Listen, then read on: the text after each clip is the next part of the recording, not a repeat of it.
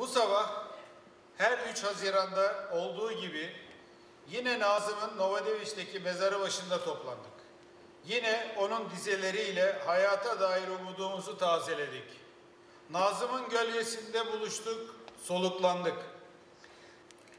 Nazım'ın zamanın ruhuna inat, yine ortak paydamız bizi birleştiriyor, yakınlaştırıyor.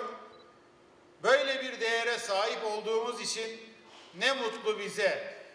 Türkiye ile Rusya arasında yaşanan sorunlar toplumumuzun varlığını azaltmaya devam ediyor. Emeğiyle, çabasıyla, sevgisiyle, sermayesiyle iki ülkede kurulan hayatlar baltalanıyor. Eski güzel günlerin, işbirliğin, dostluğun çiçeklendiği bu günlerde umuduyla devam ediyoruz eski günlere dönmenin. Sevgi dolu yüreği için bizlere bu sıkıntılı dönemde hiçbir desteğini esirgemeyen, kapılarını sonuna kadar açan Sayın Büyükelçimiz rahmetli Andrei Karlov'u. Еще раз хочу почтить память господина Андрея Карлова, который открыл для нас двери своего сердца и своего посольства, и своей страны до самого конца. Открыл их широко и приветствовал каждого из нас. Не забудем его огромный вклад в наши отношения.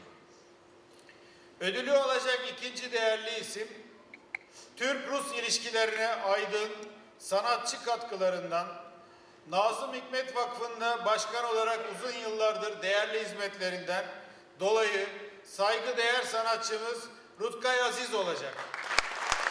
Вторая награда Ünlü Rus şairi Yevgeni Yevtüşeykov'un Nazım'ın ölümünden sonra yazdığı Nazım'ın Yüreği şiiri. Yüreği ise onun gizli gizli çarparak sürdürdüğü ağrısını ölümden sonra da içimdeki acı için ağrıyor, Türkler için ağrıyor, Ruslar için ağrıyor. Kendisi gibi mapusta özgür olanlar için ağlıyor.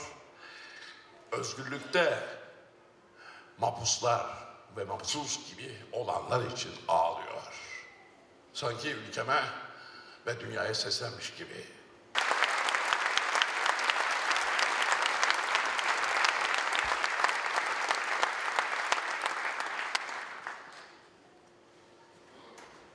Bu ödülü geçen yıl almanın onurunu yaşıyordum. Bu yılda Türkiye'de sayıları gittikçe azalan namuslu büyük aydınlardan ta Kalübela'dan beri arkadaşım sevgili Rutkaya sunmanın mutluluğunu yaşıyorum. Hüzünler ve mutluluklar iç içe geçiyor. Rutkaycığım buyur.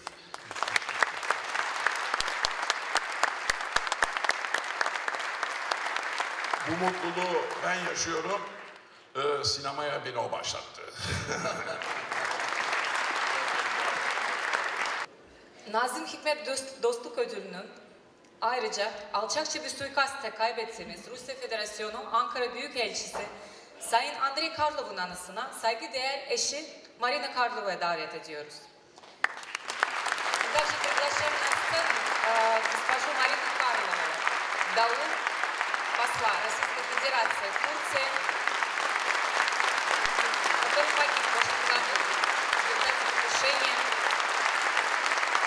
и вручения награды в память barışçılar yönetimi. Büyükelçilik Karbon, Rus-Türk ilişkilerinin gelişmesi, dostluğumuzun ve işbirliğimizin bençinlenmesi için hayatını feda eden bir kahraman olarak her zaman anılarımızla yaşayacak, minnet duyduğumuz, duygumuz hiçbir zaman eksilmeyecektir. Kendisini bu vesileyle bir kez daha saygıyla anıyoruz. Onun bıraktığı yerde hepimizin dostluk halini sunmaya devam edeceğiz.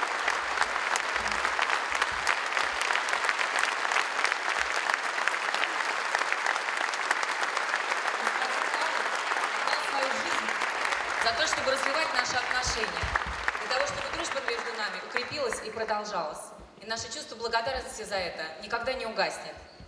И мы сейчас еще раз вспоминаем о нем с уважением и болью об утрате. Bu ödülü vermek üzere Moskova Büyükelçimiz Sayın Hüseyin Diri Öz'ü sahneye davet ediyorum. И сейчас я приглашаю господина посла Турции Российской Федерации Хусейна Дериуза для вручения этой награды.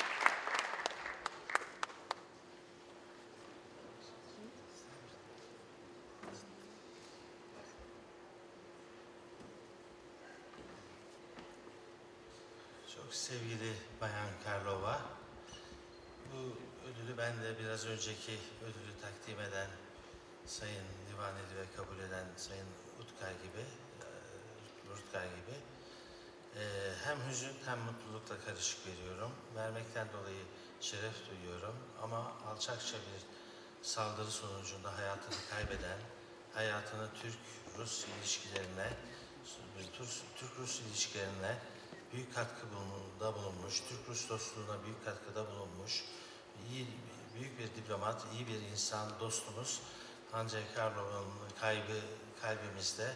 Bunun anısıyla hüzünlenerek veriyorum ve daima kalbimizde yeri olacak. Вручаю эту награду одновременно с печалью и счастьем, с огромным уважением.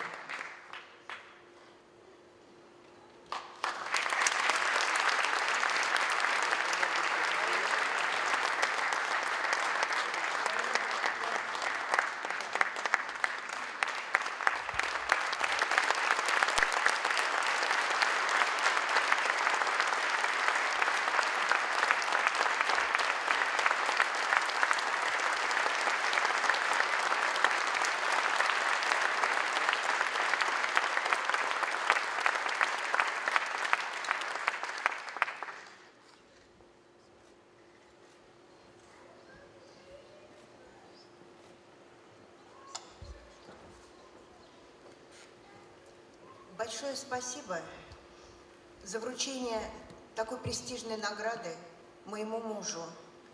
Я рассматриваю вручение премии Назыма Хикмета как оценку работы моего мужа на укрепление российско-турецкой дружбы. Спасибо. Teşekkür ederim.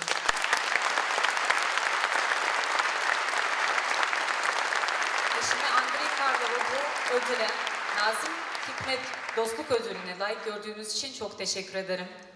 Bu ödülü ben Rus-Türk ilişkileri gelişmesindeki katkısından dolayı bir değerlendirme ve ödül olarak görüyorum. Çok teşekkürler.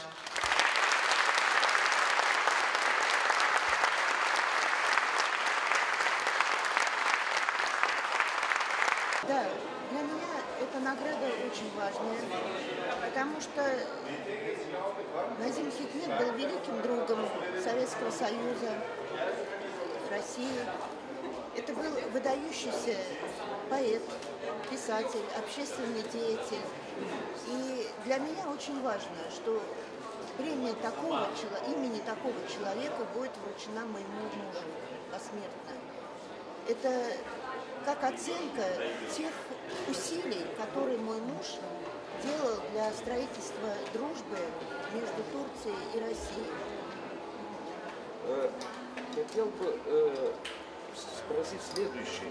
Вы, правда, несколько раз э, высказались по этому поводу. Но Турция для вас близкая страна ос- осталась, я- так я понимаю, потому что народ, ну вы сами, проживя там несколько лет, э, сами, видимо, воочно убедились, что народ-то неплохой, я так думаю, по крайней мере. Я согласна, Да. да. Турция для меня близкая страна. Я полюбила эту страну. И я давала интервью, где говорила, что мне очень нравится Турция. Мне очень нравится дружелюбный, приветливый, э, хлебосольный турецкий народ. Мне очень нравится культура вашей страны. То, что эта страна с такими древними традициями. Поэтому Турция для меня это очень близкая страна. Я за те три с лишним года, что я там провела, я от души полюбила и страну, и народ. И даже то, что случилось, не повлияло на то, ш- на мое отношение к Турции. Людям, по крайней мере. Люди прекрасные в Турции. İçtim ama akşamcı olmadım. Hep hep alnımın teriyle çıkardım ekmek paramı. Ne mutlu bana. Başkasının hesabına utandım, yalan söyledim. Yalan söyledim Başkasını üzmemek için. Ama durup dururken de yalan söyledim. Bindim trene, uçağa, otomobile. Çoğunluk binemiyor. Operaya gittim. Çoğunluk gidemiyor, adını bile duymamış operanın. Çoğunluğun gittiği kimi yerlere de ben gitmedim 21'den beri. Camiye, kiliseye, tapınağa, havraya, büyücüye ama kahve falıma baktırdığım oldu. Karlı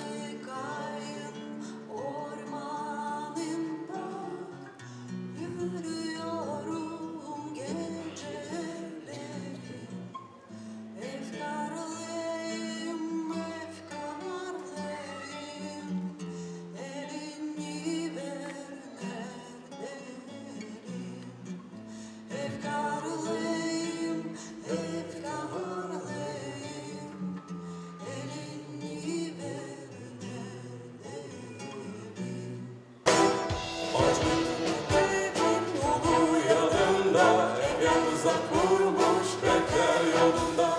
Gönüllerde işkencede önünde Bükülmeyen gücek olan bana Zulümlerde işkencede önünde Bükülmeyen gücek olan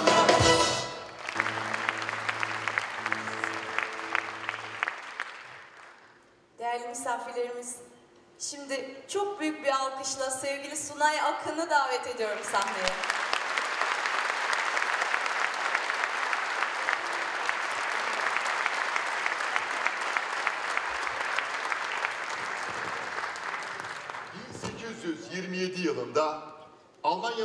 Brandenburg kentinde bir müzik öğretmeninin oğlu dünyaya gelir. Çocuğa Karl Deskuit adını koyarlar. Baba müzik öğretmeni. Anne ne iş yapıyor bilmiyorum. Ufka kuşların kanadına Gölgede değirmene yazarım Bu yanlış patikaya Serilip